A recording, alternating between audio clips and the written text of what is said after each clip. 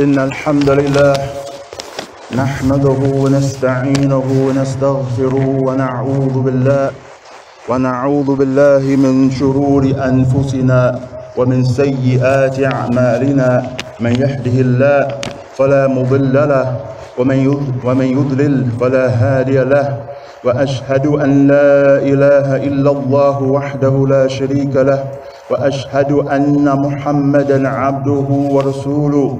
يا أيها الذين آمنوا اتقوا الله حق تقاته ولا تموتن إلا وأنتم مسلمون.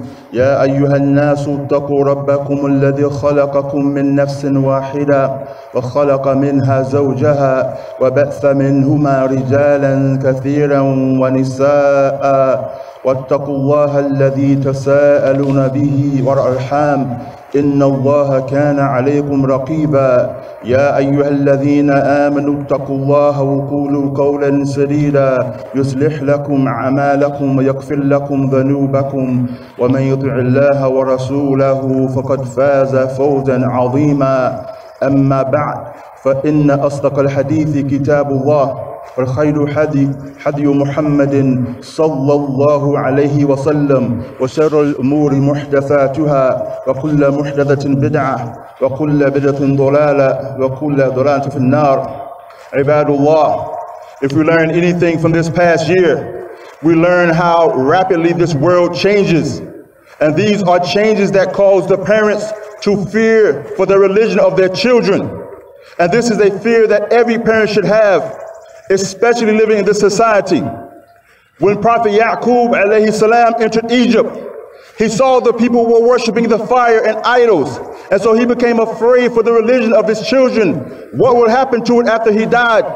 أم كنتم شهداء إذ حضر يعقوب الموت إذ قال لبنيه ما تعبدون من بعدي قالوا نعبد إلهك وإله آبائك إبراهيم وإسماعيل وإسحاق إلها واحدا ونحن له مسلمون Or were you witnesses when death came to Yaqub and he said to his sons, What will you worship after me? They said, We shall worship your God and the God of your fathers, Ibrahim and Ismail and Ishaq, one God, and to him we submit as Muslims. If Yaqub alayhi salam, Yaqwan, fear for his children, fear for their religion, then do we fear for the religion of our children living in this society? Well, there are over 4,000 religions in the world today. All of them have access to our children by way of the internet, calling us to associate partners with Allah Ta'ala. And Allah Ta'ala, He said, إنه من يشرك بالله فقد حرم الله عليه الجنة ومأواه النار Indeed, whoever associates partners with Allah, then Allah has made paradise haram for him, and his abode shall be the hellfire. How can we not fear for the religion of our children when today we see Muslims standing locked on with Black Lives Matter, making the chant, say her name? And the co-founder of Black Lives Matter, she said openly, this chant, say her name, is a call upon the dead. They're seeking help from the dead ancestors. And he said it's a dua, it's prayer. And that's why when they get done, they say Ashad, Ameen. Calling upon other than Allah Ta'ala. When Allah Ta'ala, he said, وَلَا تَدْعُ مَعَ اللَّهِ إِلَهًا آخَرٍ لَا إِلَهَ إِلَّا and do not call upon any deity other than Allah. There is no deity worthy of worship except for Him. How can we not be afraid for our children, Ya When we see that America is on the path to legalize all drugs, not just marijuana. Oregon was the first state to decriminalize the possession of small amounts of cocaine, heroin, and meth. And the messenger of Allah, alayhi salatu wasalam, he said, Istanibul khamr, fa innaha miftahu kulli shab. He says, stay away from intoxicants, drugs, and alcohol, for indeed it is the key to every evil. Will you not be afraid for your children, Yaquan, when we see the ultra aggressive push by the LGBT community? I was in the store a couple of weeks ago and I saw a book entitled The Gay BCs, teaching our children the alphabet through homosexuality. And that's even more frightening when you know the educators say begin to teach your kids the ABCs at age two. And the messenger of Allah, alayhi salatu wasalam, he said, Inna akhwafa ma akhafu ala ummati amala qawmi. He said, the thing I fear most of my ummah is homosexuality. And you know what's scary, Akwan? When you realize that the same strategies they use to remove Islam from the fabric of our families today is the same used to remove Islam from the Muslims that arrived in America during the transatlantic slave trade. Now, when the Muslims came here enslaved from Africa, many of them were practicing their religion. They were praying and they were fasting. And it took the slave owners several plots to remove Islam from their home. So what did they do?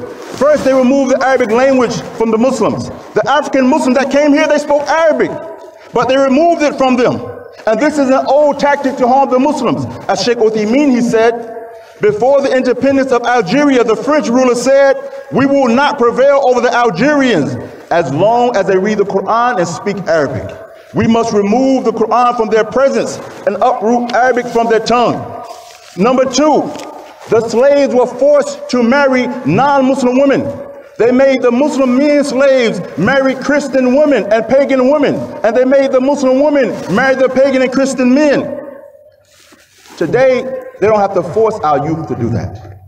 Unfortunately, many of our Muslim youth, they choose to marry the non-Muslim women over the Muslim women. They choose to date them instead of marrying the Muslim woman.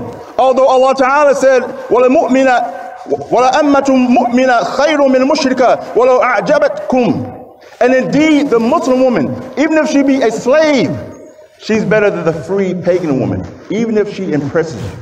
And the same thing applies to our young women. Some of them would rather, rather date a pagan than to marry a Muslim man. But Allah Ta'ala said, وَلَا عَبْدٌ مُؤْمِنٌ خَيْرٌ مِنْ مُشْرِكٍ وَلَوْ أَعْجَبَكُمْ And the believing man, even if he be a slave, is better than the pagan man, even if you are impressed by him. Number three, they began to change the names of the Muslims. When these interreligious couples had children, they forced them to take Anglo names and the assignment of anglicized names rather than Islamic names to the children, when they had at least one Muslim parent, it was a subtle way of removing the identity of the Muslims. But now they don't force you to change your name. But you'll find a Muslim named Muhammad and he'll tell his friends, my name is Mo, so he can fit in.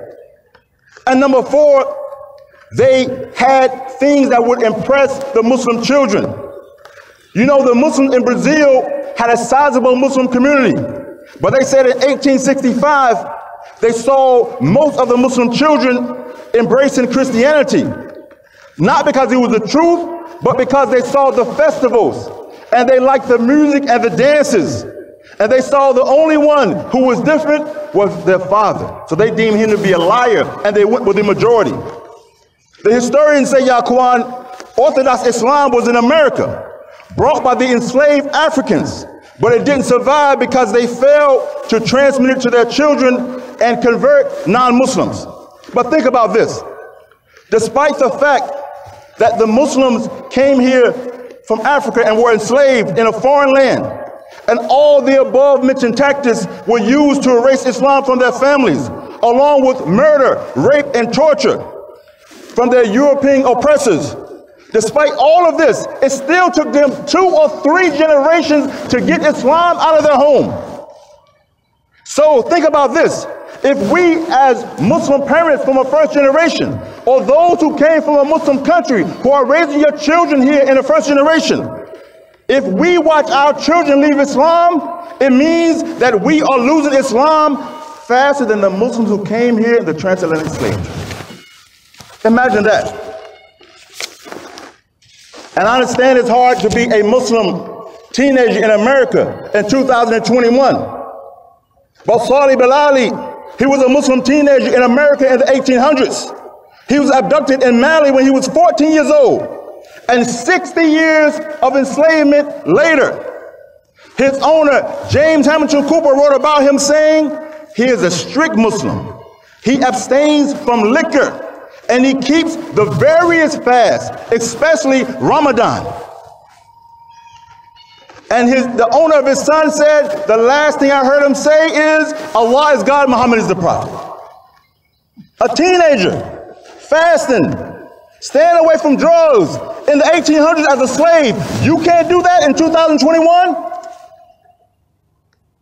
Islam, Yaquan, is our legacy. Rather, it is the dua of our forefathers. There's a brother I studied with in Yemen named Abu Khalil. And he said he and a brother from Jamaica were in Riyadh and they came across Sheikh Luhaydan, one of the major scholars of our era. And when the brother from Jamaica, he said, Sheikh, I'm from Jamaica. Have you heard of Jamaica before? Sheikh Luhaydan said, Of course I heard of Jamaica. He said, That's that small country that sits beneath America close to Cuba. He said, This is where the first slave ships came to the Caribbean. And from the Caribbean, the slave ships went to North America. And listen to what Sheikh Luhaydan said next. He said, No doubt, when your ancestors saw the horrors and oppression they were facing, they made dua. And their dua were answered in your generation, as Allah has guided you back to the religion of your forefathers. Allahu Akbar. So I ask you, Yaqwan, it took us almost 200 years to get Islam back. Are we going to watch it go away from us in one generation? And in closing, Yaqwan, in 1940, an elderly woman named Katie Brown, who was the great great granddaughter of Bilali Muhammad, she says, I remember my grandfather and his wife Fifi, and they would pray on a mat. And they were very particular about the time they would pray and very regular about the prayer. But now it was only a memory to her. I ask you, Aquan, are our great grandchildren going to one day say, I remember my grandparents used to pray? Or are we setting the foundation so they can carry on the legacy of Islam? May Allah Ta'ala preserve Islam in our lineage and spread Islam in America. And may Allah Ta'ala have mercy upon us. Walhamdulillah wa salatu wa salam ala nabiyina Muhammad.